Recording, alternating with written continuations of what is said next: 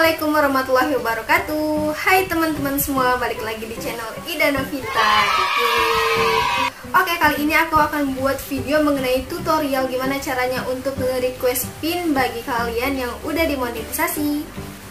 Tapi sebelumnya kalian jangan lupa untuk subscribe, like, comment, dan share.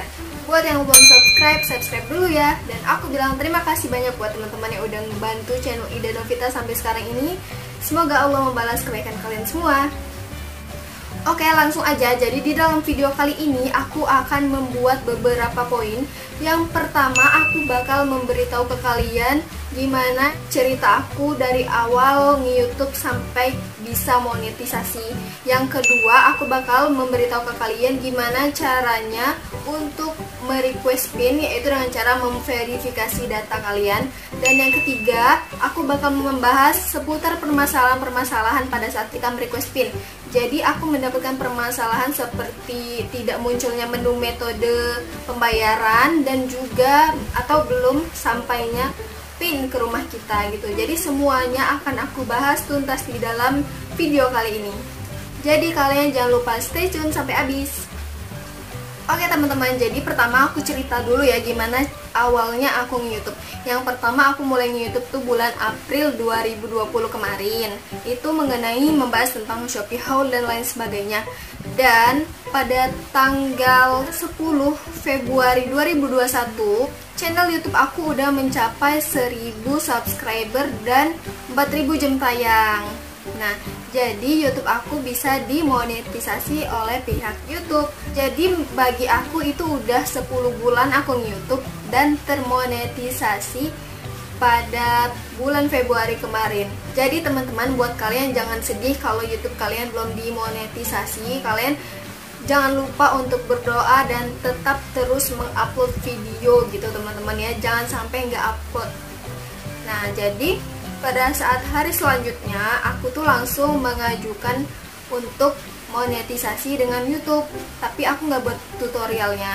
Jadi jaraknya tuh sekitar sehari gitu atau dua hari.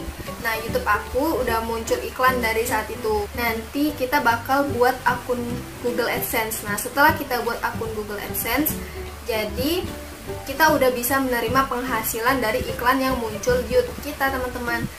Oh iya teman-teman, jadi syarat kita untuk bisa mendapatkan pin AdSense Jadi kita harus memiliki penghasilan minimal 10 dolar. Jadi misalnya kalau estimasi pendapatan di YouTube kita itu udah mencapai 10 dolar Nanti mereka langsung mengirimkan email ke kita Supaya kita melakukan verifikasi data diri. Seperti itu teman-teman. Jadi buat kalian yang melihat pada saat di Google AdSense itu masih nol saldonya itu tenang aja teman-teman karena memang mereka update itu sebulan sekali. Jadi kalau kalian mau melihat estimasi pendapatan kalian di YouTube kalian bisa lihat di YouTube Studio. Kalian bisa buka melalui aplikasi YouTube Studio atau kalau aku itu buka cuma lewat Chrome aja. Lewat Chrome terus cari di Google cari YouTube Studio atau dashboard YouTube. Nah di situ aku biasa ngeliat pendapatan ataupun video-video aku yang lainnya gitu jadi buat kalian yang belum monetisasi tetap semangat ya. Dan semoga kalian cepat termonetisasi. Oke teman-teman, jadi kita langsung aja ke beberapa tutorialnya. Jadi kalian harus simak sampai habis, oke? Kita langsung aja ke tutorialnya. Oke teman-teman, jadi aku tuh monetisasi pada tanggal 13 Februari 2021 Nah, akhir Februari saldo aku udah mencapai 10 dolar lebih. Nah, pada tanggal 1 Maret 2021 aku tuh dapat email dari Google AdSense yang mengatakan bahwa aku harus memverifikasi identitas untuk menerima pembayaran dari Google AdSense. Nah, jadi kita harus melakukan proses verifikasi. Nah, ini verifikasi data bisa berupa paspor, SIM atau KTP. Nah, di sini aku milih KTP. Nah, tips untuk mengirim dokumen, kita harus foto seluruh bagian dokumen termasuk keempat sudutnya. Gambar harus dapat terbaca, fokus, serta tidak ada kilau dan pantulan cahaya. Dokumen yang tidak lengkap atau tidak jelas atau foto yang gelap atau buram tidak akan diterima.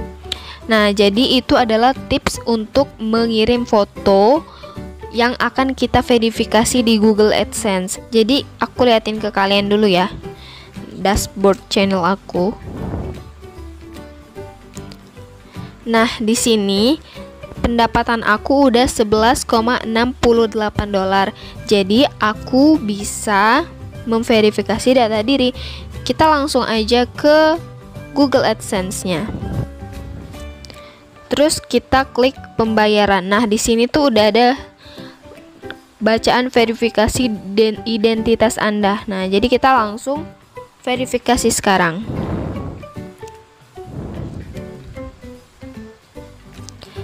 Nah, di sini kita cek-cek dulu ya alamat yang udah diisi sebelumnya. Aku juga bakal ngecek ulang nama di KTP aku dan juga di yang udah aku tulis itu sama atau enggak. Nama Ida Novita. Rumahnya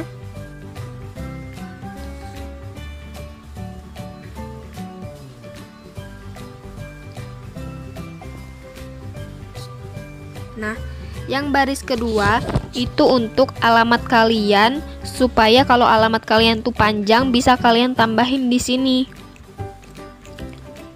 Bukan ditulis ulang ya alamatnya tetapi kalian tulis alamat lengkapnya kalau kurang di baris alamat kedua. Nah, di sini kotanya kalian pilih provinsinya dan kode posnya. Nah, di sini langsung kita upload di sini aku klik yang unggah. Selanjutnya kita pilih file. Terus kita cek di galeri kita foto yang akan kita upload, foto KTP-nya.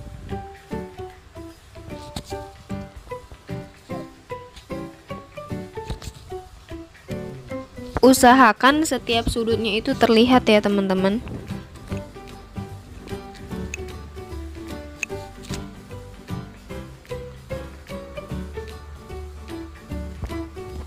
Nah itu kayak gitu tuh. Nanti aku liatin contohnya. Nah ini contoh KTP aku Tiap sudutnya kelihatan dan gambarnya sangat jelas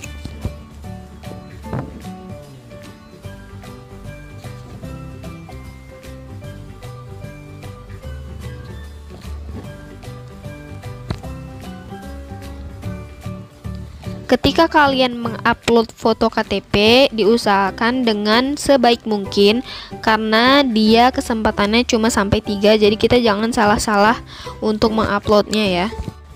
Nah, informasi ini akan digunakan untuk mengkonfirmasi bahwa ini adalah Anda dan juga untuk melindungi Anda dari penipuan. Lalu kita klik kirim. Bismillahirrahmanirrahim. Semoga langsung verifikasi. Proses ini akan memerlukan waktu beberapa hari. Kami akan mengirimkan hasilnya melalui email. Jika identitas Anda tidak dapat diverifikasi, kirimkan lagi dokumen Anda. Jumlah percobaan dibatasi. Nah, kan dibatasi, jadi kita harus benar-benar ngirim datanya. Oke, jadi kita tunggu beberapa saat sampai dikirim email dari Google. Verifikasi identitas Anda sedang berlangsung. Nah, jadi kita tunggu verifikasi selanjutnya dari Google AdSense. Tunggu emailnya. Jadi kita skip dulu videonya. Ya teman-teman, jadi aku tadi verifikasi identitas diri itu pas pukul 9 seperempatan gitu. Dan sekarang sekitar 15 menit yang lalu itu udah ada email dari Google AdSense yang mengatakan bahwa verifikasi identitas berhasil. Alhamdulillah berarti KTP tadi memang sesuai sama kualitas mereka ya Nah, identitas Anda telah diverifikasi, silahkan login ke akun Google AdSense Anda dan siapkan metode pembayaran utama jika Anda belum melakukannya. Oke teman-teman, kita sambung lagi. Jadi sekitar pukul 18.40 aku tuh dapat email lagi dari Google AdSense. Kita buka ya.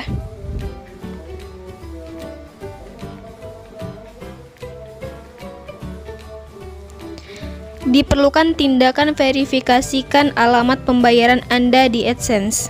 Nah, verifikasikan alamat Anda untuk menerima pembayaran dari Google AdSense. Kami telah mengirimkan surat yang berisi nomor pengenal pribadi PIN, pada tanggal Maret 2, 2021 ke alamat pembayaran yang Anda berikan. Saat Anda menerima surat PIN, klik verifikasi alamat Anda dalam email, lalu masukkan PIN Anda pada kartu di halaman beranda AdSense. Nah, jadi pin AdSense aku udah dikirim. Gampang banget dan cepet banget teman-teman. Kan pukul 9 pagi tadi itu aku melakukan verifikasi data diri dan selanjutnya itu mengisi alamat dan lain sebagainya.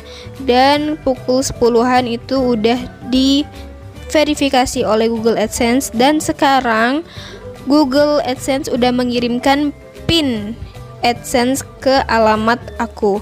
Jadi kita langsung buka dulu. Dan sekarang kalian lihat itu tuh aku belum ada menu untuk melakukan metode pembayaran kayak gitu. Belum bisa mengisi karena biasanya di sini tuh ada kotak-kotak untuk metode pembayaran sedangkan aku nggak ada. Tapi nanti aku bakal update lagi video aku selanjutnya mengenai kelanjutan dari pin AdSense ini jadi kalian stay tune aja. Oke teman-teman, buat kalian yang khawatir pada saat di atas beranda Google AdSense kalian ada bacaan pembayaran Anda saat ini ditangguhkan karena Anda belum memverifikasi alamat, itu bukan karena verifikasi data diri kalian itu salah atau tidak sesuai, tetapi sudah sesuai, yang dimaksudkan itu adalah kita belum memverifikasi alamat yang dikirim oleh Google AdSense yaitu PIN. Nah, karena kita belum mendapatkan PIN, jadi kita dikatakan belum memverifikasi alamat. Jadi kalian tenang aja, kalian bisa lihat di sini di lebih banyak ini. Nah, di sini ada bacaan verifikasi alamat penagihan Anda. Nah, kami telah mengirimkan PIN kepada Anda melalui surat pada tanggal 2 Maret. Surat tersebut akan tiba dalam waktu 2 sampai 4 minggu. Verifikasi alamat Anda dengan memasukkan PIN yang kami kirim. Nah, jadi maksud dari pembayaran Anda saat ini ditangguhkan memang karena kita belum mendapatkan PIN dan memang kita belum memverifikasi menggunakan PIN yang akan sampai yang dikirim oleh Google AdSense. Nah, buat kalian yang salvo ngeliat saldo aku masih 0,00 ini memang karena saldo YouTube itu masuk sekitar tanggal 11 sampai tanggal 15 sedangkan kemarin aku baru monetisasi tanggal 13 dan belum sampai satu bulan sehingga saldo akan masuk ketika sudah mencapai satu bulan dari monetisasi. Seperti itu teman-teman. Oke jadi sampai sini dulu tutorial dari aku. Dan apabila kalian masih ada yang perlu ditanyakan tinggal komen di kolom komentar aja teman-teman.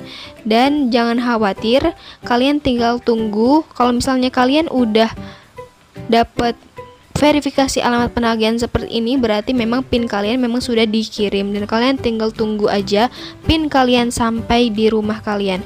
Nah, jangan lupa kalau udah sekitar dua minggu kalian cek-cek langsung ke kantor pos karena memang biasanya kantor pos itu ada yang tidak mengantar ke rumah. Jadi kalau kantor pos di sekitar aku itu dia nggak nganter ke rumah teman-teman. Jadi kita yang datang langsung ke kantor pos sering-sering aja ngecek siapa tahu PIN kita udah ada. Nah, jika PIN kalian belum sampai selama 4 bulan, kita bakal diberhentikan iklan oleh YouTube. Seperti itu teman-teman. Oke, cukup sekian dari aku. Wassalamualaikum warahmatullahi wabarakatuh.